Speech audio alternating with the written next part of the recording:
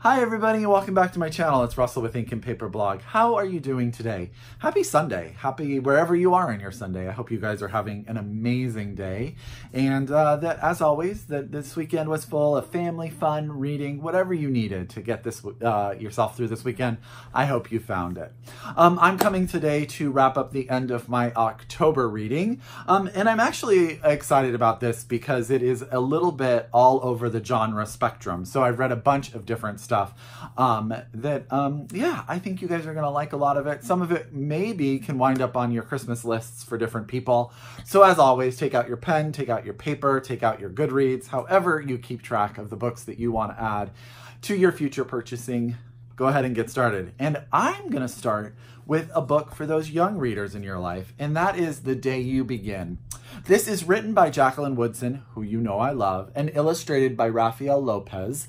And you can just tell by the cover how gorgeous the illustration is, but I'll show you guys some of the inside um, art, and it's just beautiful. Beautiful. So this is a little tale for our young readers about that first day of school or going to a new place and becoming the new person in a situation and sort of learning how to fit in, how to find your friends, recognizing that sometimes you're going to um, have to deal with um, people looking at you and not understanding you. And uh, you have to sort of get everyone to understand who you are and where you come from and you will find connection and you will find friends and you will find groups. And it may be hard at first um, but you can do it and there will be people there to support you.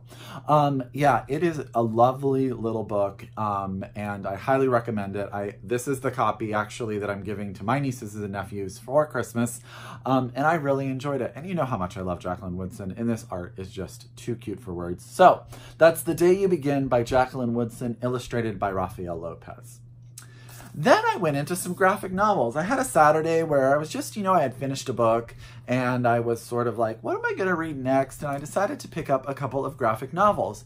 And the first one I picked up was Norroway, and this is by the sister collection of Kit and Cat Seaton. And I think this comes out, actually, I think it comes out in November. It came out in November 7th and I think it also comes out in uh, like official hardback on November 13th. So you should be able to get your hands on this. This is a retelling of the um, a Spanish sort of myth or fairy tale. But basically, what this is is this is the story of a young girl who is um, she goes to a uh, um, what are they called? A fortune teller. Gosh, you know how sometimes words just get stuck in your head. Uh, she goes to a fortune teller and she's told that she's going to marry a bull. Okay?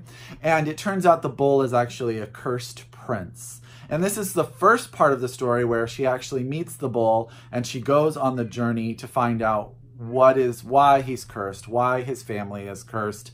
Um, she is independent and strong and self-willed, and I really like her. And then she meets some really interesting people along the way, and she has a pet bird um, who I absolutely love. But the art is also very good. I'm trying to figure out a good page to show you, but just like look at that. Look at that. It's a great story. Um, I can't wait. I want to know what happens next, so I'm super sad that I don't already have book two.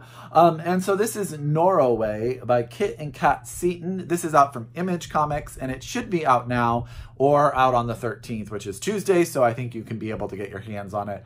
Um, yeah, super excited about this one. Really enjoyed it. Really liked it. The next one I also enjoyed, but I have a lot of feelings about this. And this is Perdy, and this was volume one, Flowers, Sex, and Robbery, and this is written by Kickliy. I don't know much about who uh, whom Kickliy is, um, but so this is the story of Perdy. Perdy is sort of a gun-toting cowgirl, um, and she at the start of the series is um, released from prison for she was arrested for robbery. So let me kind of give you an idea of the art style here it's fun. It's different. Um, I definitely enjoyed it. Um, I like that it had a lot of pink in it. Now, here's the thing. So Perdy and our other main character, who you find out is her daughter, um, very soon. That was not a spoiler. Um, they are very keen on using their sexuality. As Perdy in the first few pages is leaving the prison, it becomes evident that she's pretty much slept with everybody in the prison and everyone is saying goodbye to her. And she owns her sexuality. And then her daughter, when we meet her, is really, she lives in a small town where she runs a flower shop where she's clearly being chased by every man in town. They're waiting to even decide on what they're going to do with their futures um, until she decides which man she's going to choose. So it's weird. It's like this weird idea of these women being sexualized by the men.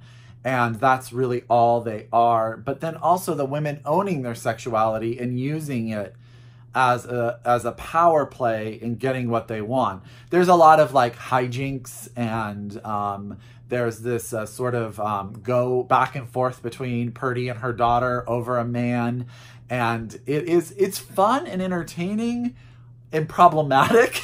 um, there, it, it's just one of those things. I would love for someone to read it because I want to talk to people about it. Um, and see if I can sort of flush out. I am not sad I read it. I truly did enjoy it. Um, and I think that Perdy is a fascinating, funny, go gumption girl. You know, she she's a woman who literally is having a fight with a man, so takes him up to a room and sexes him into submission. It's just, yeah, yeah. So there, this is not a graphic novel for young readers. This is definitely all adult. Uh, so that is Perdy, Flower, Sex, and Robbery, Volume 1. This is out as well. This came out in September, again from Image Comics, and it is written and art um, by Kickliy. So there you go. Okay, now I have two novels for you. Um, the first one I'm going to tell you about is uh, Mr. Flood's Last Resort by Jess Kidd. This is called The Hoarder in the UK, has a very different cover. Um, and I prefer the UK cover. I have issues with both titles, but whatever. This is a story of Maud. Maud actually works as a caregiver for um, a man who is a hoarder um, in a way. He, um, she is cleaning space in her house. She's taking care of him. She cooks him a meal. Um, and Maud gets involved sort of in a murder mystery regarding uh, the wife of um, the man she's taking care of. And you guys know how I am in, with names. Um, and I always, Mr. Flood's first name is totally uh, spacing out on me. Um, but his wife uh, is dead we find out very early. No spoiler there. And the search is on on why she died. And also there's sort of this connection to this young girl who also went missing. And Maud sort of becomes an investigator. A couple interesting things about Maud is that she can see uh, saints, the spirits of saints. So they kind of add a comic relief and also a voice of reason at times. It's very interesting what that's done. You find out that Maud has sort of a, a history with her sister when she was young going missing. Um, which sort of plays into everything. Maud's best friend is a transgender woman and who is also an agoraphobic and so never leaves her apartment. Um, she's worth every page of the book. She's a fantastic character. Um, this book is, I, it's so, it's really good. There's like a little mystery. You're trying to figure out what happened to these women. Maud is sort of learning about herself, learning about Mr. Flood, um, and you know, there's also an, a, a plethora of very interesting periphery characters and you have to pay attention though, because it is a little bit of a confusing book. Um, we read this in my book club, and some people struggled with the, with sort of this jumping around what was real, what wasn't real, sort of this magical realism piece, um, this ghost story piece to it all. Um, I really enjoyed it. I think it's mistitled, to be honest with you.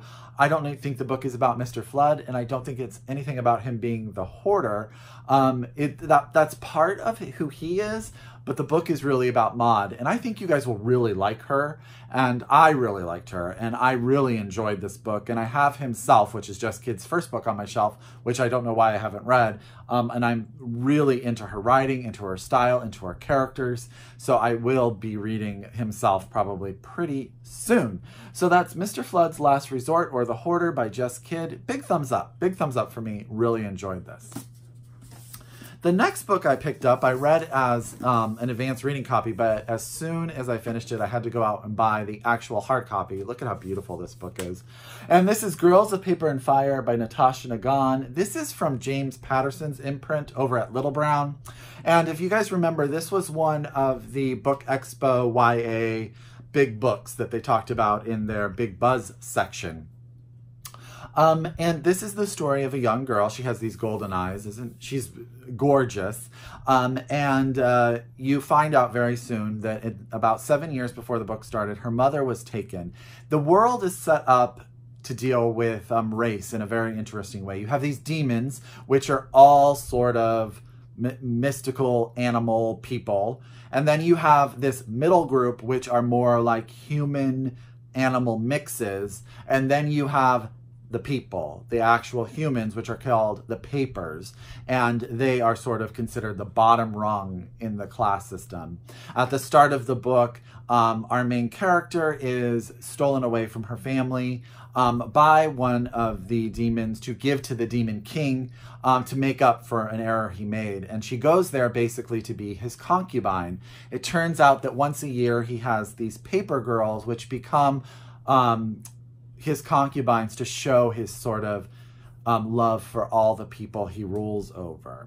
And so she goes to this house and she meets eight other women who are also human, who have also been in, brought in basically just to be concubines to the king. So there's all sorts of political stuff. Um, there's all sorts of class things. Um, this book, I would say this is not for your young reader because there is a sexual element. What's great about it is, is it's dealing about race relations and um, class systems and stuff. It also has a LGBTQ plus plot line that is fantastically handled.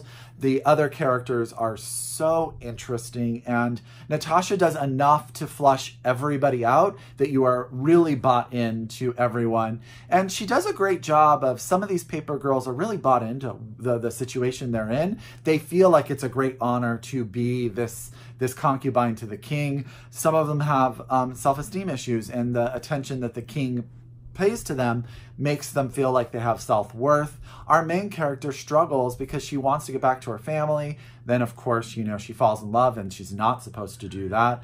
Add on to that, so many different angles. There's like magic and there's just a little bit of everything. The story is driving. Um, I loved this book. I cannot wait to see what happens next um, yeah, this was really, really good. So if you have a YA reader, I would probably say this is for someone 14 or above, just because it does um, deal with um, some tough, tough, tough subjects. So sort of trigger warnings for, you know, women as concubines. So of course there's some issues with rape um, and subjuga- subjugation, um, but handled very, very well. But I wouldn't give you this book to anyone that has any triggers for that. And that's why I say I don't think it's a YA book for the young reader, more of your sophisticated reader. Um, but I was bought in. I was bought into the world, I was bought into the characters, I was bought in to the plot. Um, it's really, really good, and I cannot wait for the next one. So that's Girls of Paper and Fire by Natasha Ngan, and this is out now. This is actually the Barnes & Noble edition, which I got as an exclusive edition. Look at how beautiful this cover is. I'm just telling you. Um, and because it has an extra section where the author actually sort of gives you part of the book as she was notating it, as she was writing it. So yeah, no, I that's why I went and got this one, and I just loved it. I just loved it. So you will probably see that book in my gift guide um, videos that I'm going to do in beginning of December, um, because I think it would be a great book for those uh, sophisticated young readers in your life.